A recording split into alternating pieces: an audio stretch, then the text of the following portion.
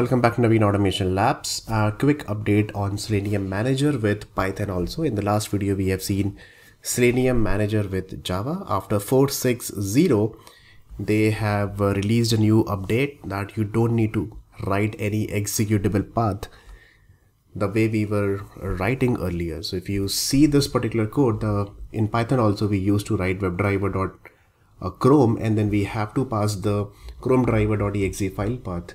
If you are using your uh, Windows machine, you have to write .exe. If you are using Mac machine, you have to write without .exe, and then you have to give the path of your uh, of your Chrome driver, Gecko driver, or Microsoft Edge driver.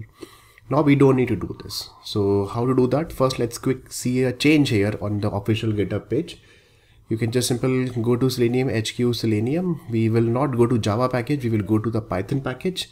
So let's click on py and uh, go to Selenium. And then after that, you go to WebDriver. Under WebDriver, you will go to common package and under common, you will see one file. This is Selenium Manager that recently nine days ago only they have uh, updated so let's click on this and this is what that they have given and uh, see this carefully same thing here that uh, unless required applicable or something then these are the different methods are available and wrapper for getting information from the Selenium manager binaries.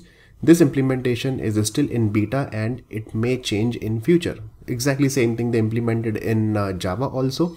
In java they have given selenium manager.java now we have this uh, method like get binary and driver location method where you can pass the browser value. And browser value it could be chrome firefox edge. You can pass it. It will give you where exactly the driver is available on your system so now you don't need to worry about the .exe and all such things you don't need to download it you can delete all the executable files from your system and uh, you just need to pass this one and that's it but you have to make sure that Selenium 460 is available on your system. So how will you install Selenium 460? You simple write go to your project directory here.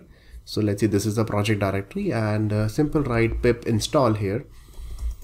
And I'm going to write I want Selenium equal to equal to 4.6.0. This will download Selenium 460. Here you can see it successfully installed 460 and let me clear the console. I really want to show the information about selenium package so it will give you complete information here you can see that you are using selenium version 460 and the home page is this and then it's now location available under python site packages because python installed all the third-party libraries under site packages. And here you can see that yes uh, it's available now. Now what we do i'm not going to give any path. And i'm simply launching one application here and then capturing the title and printing it on the console. Let's see is it really working or not? So let's run this launch browser file and then you will see yes it's getting and then launching the url browser everything. And it's printing the title on the page. Absolutely correct perfect if you really want to see that uh, where exactly uh, my chrome driver.exe it is uh, getting downloaded. So you can just simple call this method uh, which method? This driver location method. So this driver location method is saying it's a static method. So first we need to import the selenium manager. Okay so how to import the selenium manager? So see selenium manager is actually coming from uh, this package. We can import that webdriver common selenium manager so what we, i'll do i simple uh, simple let's import that. So, here we can use this import. Here you can see selenium webdriver common Selenium Manager import Selenium Manager. And now I'm going to use Selenium Manager for example here. So dot and then it's saying that which driver location. So I'm looking for the driver location for what? Looking for the driver location for let's see the specific executable. Let's see where exactly Chrome driver is available. So here you need to pass Chrome. In Java you have to pass Chrome driver. Remember this thing because this is what they have given. If browser not in Chrome Firefox Edge then only you have to raise this particular exception. If it is available then it will return the whatever the file path. Okay? So let's see. This driver location will return the path and then I'm going to store inside the C path over here.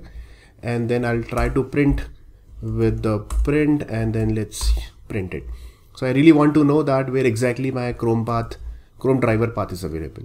So similarly I'll do one thing. I'll just use this thing same for uh, Firefox also. So this is the Firefox Edge browser in Mac machine. It uh, does not support so I'm not going to use this one. So let's see this is my F path and I'm just going to print F path over here.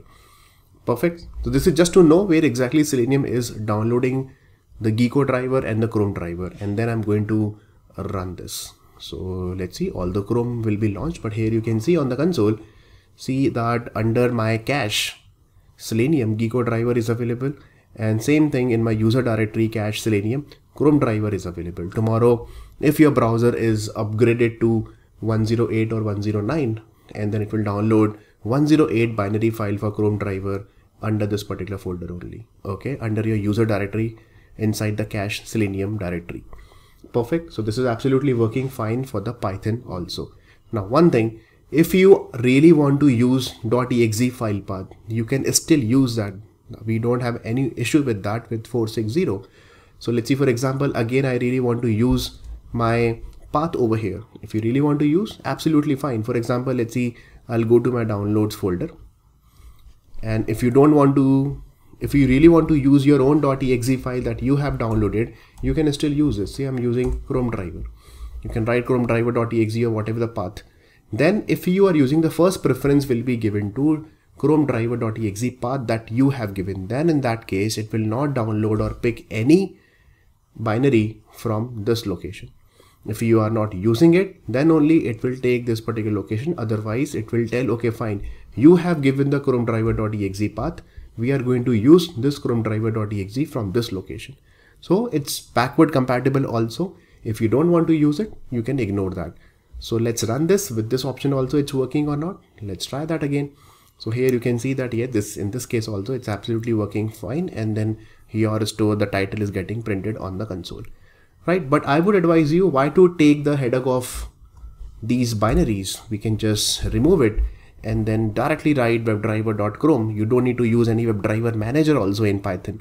In python also we have webdriver manager. If you uh, let's see if i show you some other file you can see that uh, maybe uh, for example let's see i don't have the code exact code right now but the webdriver manager also you can uh, you can check and then you can use it. See here also i'm using chrome driver.exe let's try with this. See i was using chrome driver manager. This will install the binary just like Boni Garcia in Java. But now you don't need to worry about it. No need to give any path. That's it. If you really want to know where exactly path is available, then only you can use this method. Otherwise you can ignore it. So I'm just going to comment it out. Now how do you write your script in Python? Start directly writing it from here. That's it. If you really want to pass any options like headless or something, that you can pass it with the help of Chrome options. But no need to give any binary path here and it's absolutely working fine. So that's all for this particular chapter. I hope you like this particular change. Please start implementing it. Make sure that, okay, you are upgrading your Selenium version to uh, 4.6.0. Then only this change will work. Otherwise, it will not work. And you might get some uh, future updates also on the same library for other different languages also along with Python. So they have updated the same thing in other for other languages also. Okay, if you really want to look uh, looking for uh, uh, Java updates, you can check my previous video. I'll share the link in the description of with Selenium Java as well. So that's all for this video guys. I hope you liked it. I'll see you in the next video. Till then, take care and God bless you all.